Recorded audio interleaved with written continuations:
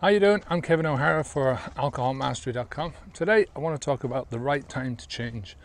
Um, there is never a right time to change. You know, it's just ludicrous to expect that there's a perfect time to make changes in your life.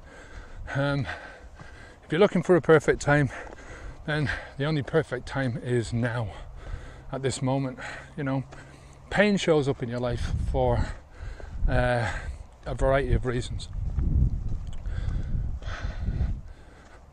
Pain shows up in life for one reason and one reason only to tell you that there's something wrong, right?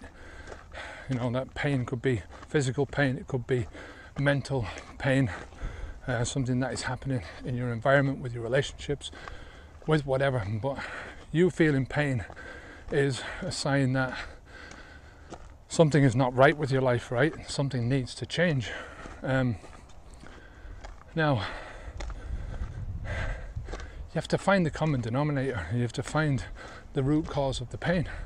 And once you find the root cause of that pain, then you can do something about it. You can make the changes that are needed to make the pain go away. And if you're looking at this video about the perfect time for quitting alcohol, then you have some pain associated with alcohol. And alcohol is the bottom line. The lifestyle is the bottom line, and alcohol plays a part of that. You know, once you get rid of the alcohol, the pain will start to diminish and go away once you're following on to something, your end goal again, right? So you have to ask yourself, what are you waiting for? You know, you might have tried lots of times to quit drinking in the past. And every time you fail, for one reason, and that one reason is you put the stuff into your mouth, right? You give in to the temptation. The temptation of the alcohol is stronger than the need for something better, right? You know, that momentary temptation, that momentary gratification that you need, that you want to get in your life is stronger than what you want in the long term. And I understand that. I've done that loads of times in my life. I mean, it's my life has been about that up until a few years ago.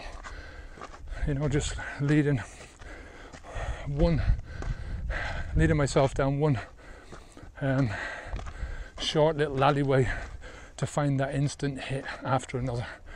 And those alleyways are always dead ends they're never going to lead anywhere. You have to always come back out again to the main road if you want to travel forward, right? So, what happens if you went to the doctor tomorrow and the doctor said to you, Look, you know, this is it. Um, sorry to tell you, but you've got uh, something wrong with your liver right? We'll use that as an instance because that's the most common thing, I think. It's the most common thing that people seem to care about. I mean, there's over 200 conditions that can go wrong uh, from drinking alcohol, right? But let's say, for instance, that he says, yeah, your, your liver is sort of half screwed. And you say, well, is there anything I can do about it? He says, yeah, what are you doing in your life? What's your diet? And you say, yeah, you tell him your diet and then you tell him about the alcohol. You ask you how much you're drinking and you tell him and he says, yeah, that's your problem. You've got to stop drinking. What's the consequences if you don't? You're gonna have to, uh, your liver is gonna get worse. Your fatty liver is gonna turn into cirrhosis of the liver, and once you get cirrhosis, you're screwed, right?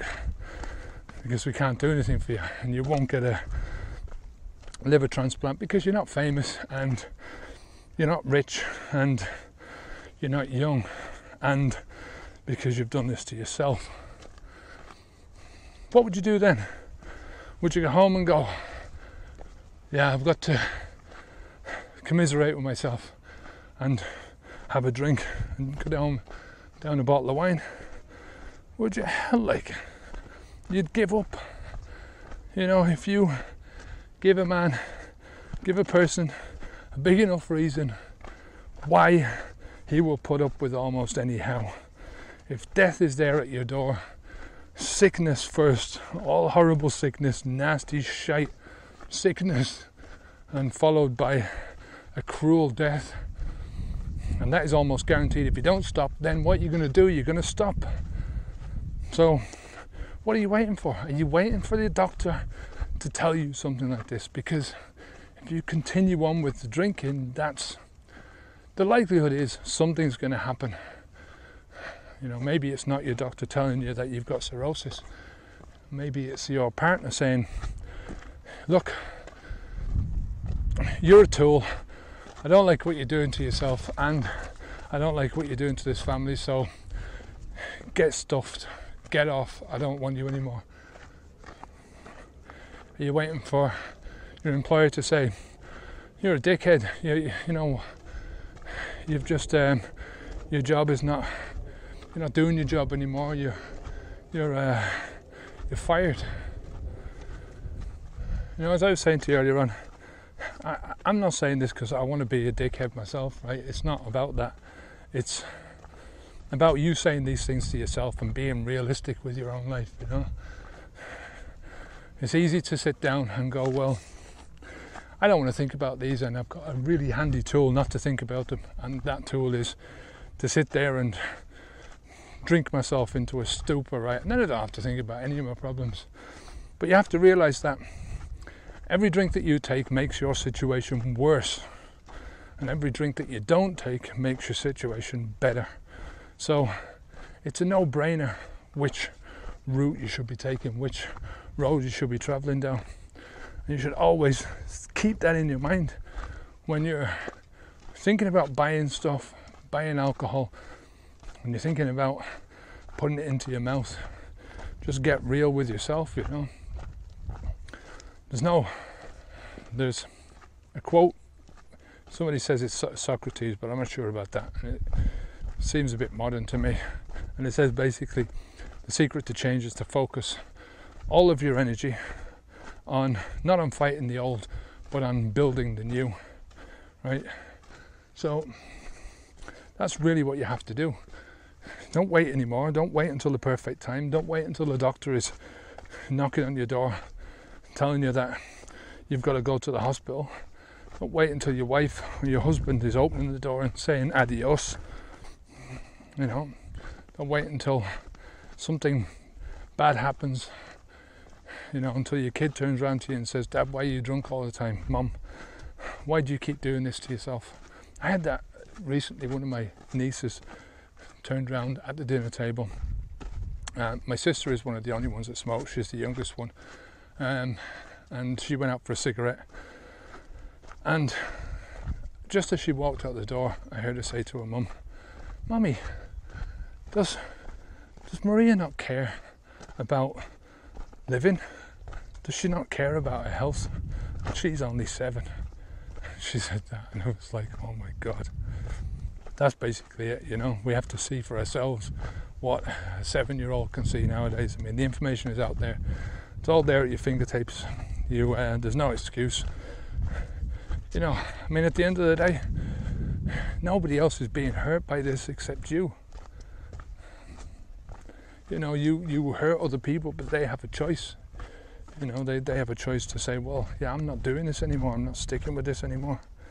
Some people have a choice. I mean, your kids might not. They still have to have you as mum and dad. But look, getting too deep into this one. This is the whole point is there is no perfect time to quit. The only perfect time is at this moment. The only time you've got to do anything. So, look, if you have any comments at all, any questions, then leave a comment down below. Love to hear what you have to think about this. Um, go on over to the website, sign up for the newsletter. The audio will be over there underneath the video. You can also have a look at the transcript if you want to uh, look at that.